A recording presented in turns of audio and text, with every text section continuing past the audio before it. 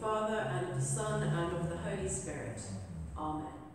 The Lord be with you. Welcome to our online service for Advent. At present, we continue to produce these services monthly, and we hope they will be especially helpful to those who cannot currently attend church in person.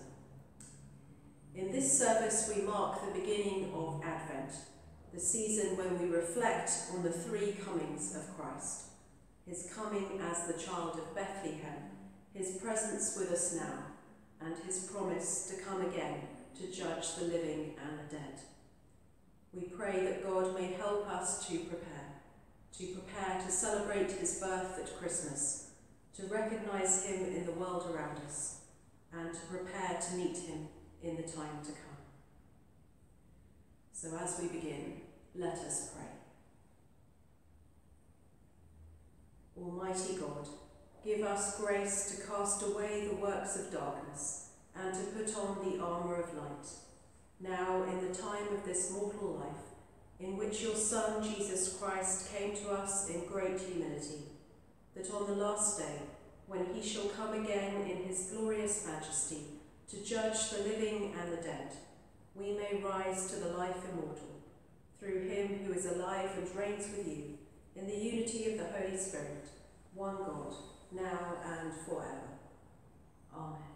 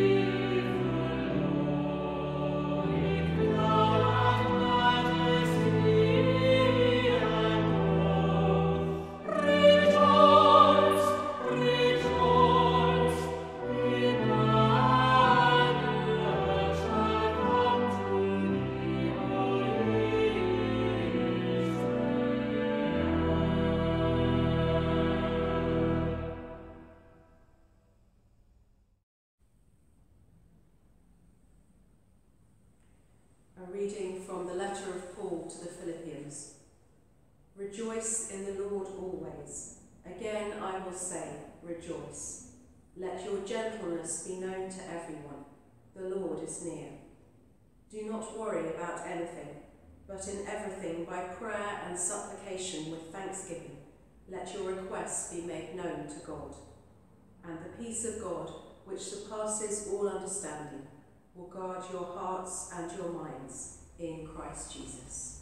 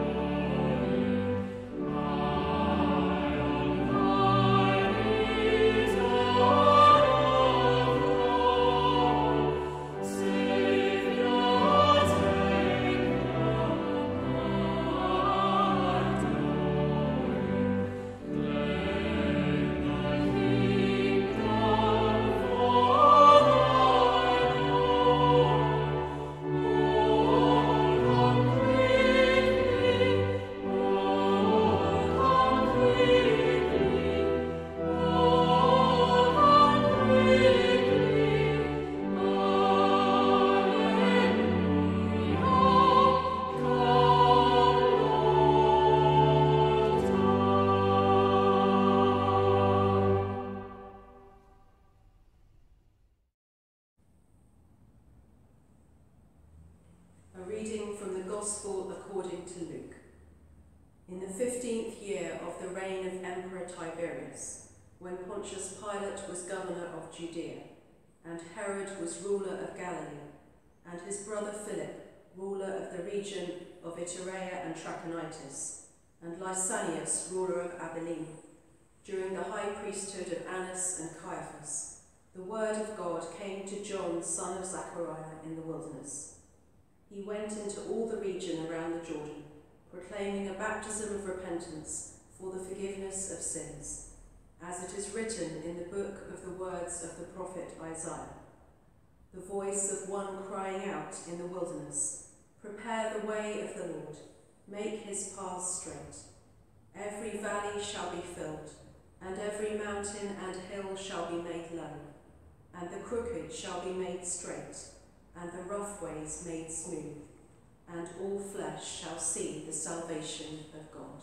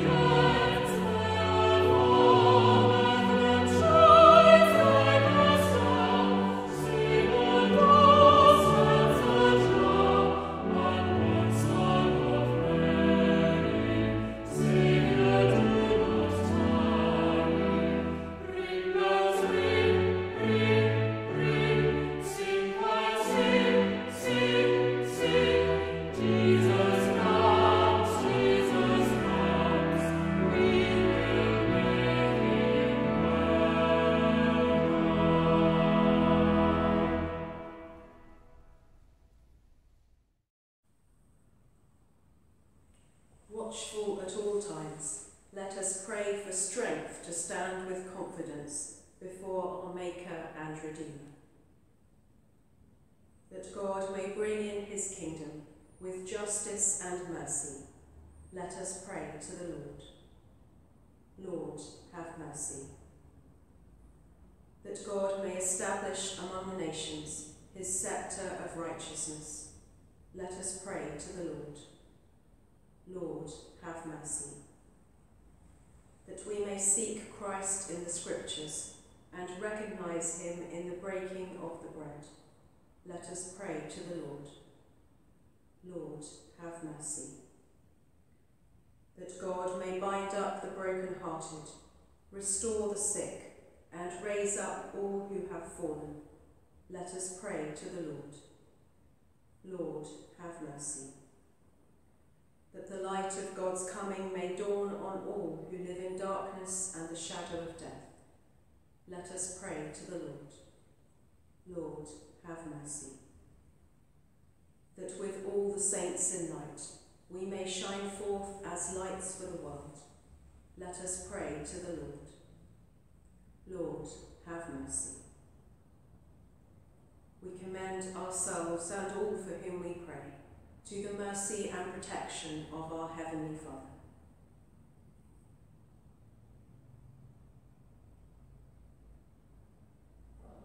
Almighty God, as your blessed Son, Jesus Christ, first came to seek and to save the lost, so may he come again to find in us the completion of his redeeming work.